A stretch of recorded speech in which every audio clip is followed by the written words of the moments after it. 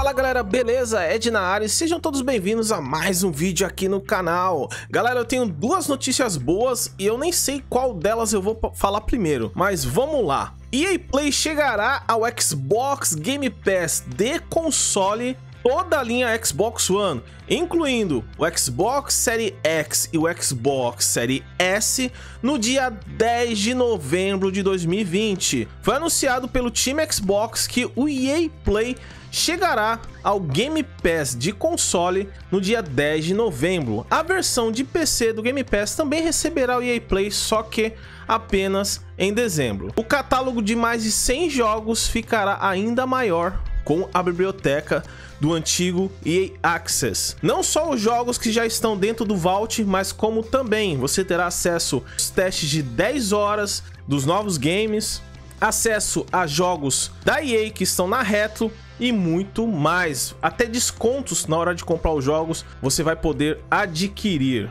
E a outra notícia não poderia ficar melhor vamos falar mais uma vez de Game Pass. Os novos jogos que chegam no Game Pass nesse comecinho de outubro são Brutal Legends para Xbox One, Doom Eternal para Xbox One e para xCloud no Android. Forza Motorsport 7 no xCloud, no Xbox One e no Game Pass de PC. I Can Feel no Xbox One e no PC e Drake Hollow que já tem no Xbox One, agora chega no PC. Desses cinco jogos que estão chegando no comecinho do mês, recomendo que vocês joguem obviamente, Brutal Legend, Doom Eternal e Forza Motorsport 7. É a primeira vez que um Forza Motorsport entra no Game Pass, então merece toda a sua atenção. Foi jogo de lançamento do Xbox One X na época, eu joguei na BGS, eu joguei no lançamento também, comprei o jogo durante seu período de venda, curti demais, o jogo tem gráficos animais, 4K, HDR, todos os efeitos gráficos possíveis, eles fizeram valer mesmo a compra do Xbox One X na época.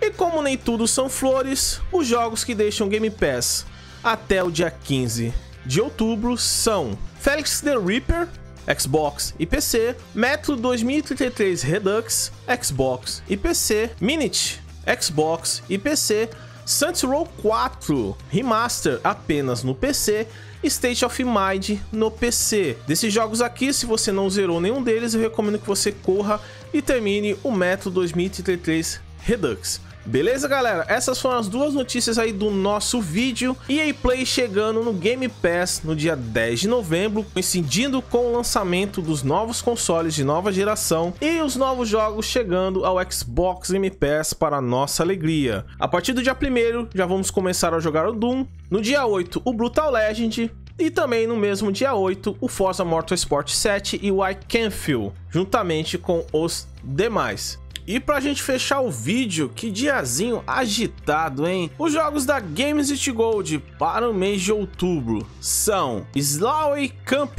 Butcher's Cut, Made of Scare, os dois para Xbox One, Sphinx para Xbox clássico e o repetido Costume Quest para Xbox 360. O destaque aqui fica por Made of Scare, é um jogo desse ano, recém-lançado, tem vídeo gameplay aqui no canal, um terrorzinho misturado com suspense. Você vai curtir demais. O resto dos jogos você pode descartar porque é tudo tranqueira e não serve pra nada. Belezinha, galera? Se vocês curtiram o vídeo, likezão da massa, não se esqueçam de se inscrever no canal se você veio de fora e compartilhar o vídeo com seus amigos aí nos grupos das redes sociais que você mais curte e mais posta. Forte abraço a todos, fiquem com Deus. Valeu, falou, fui!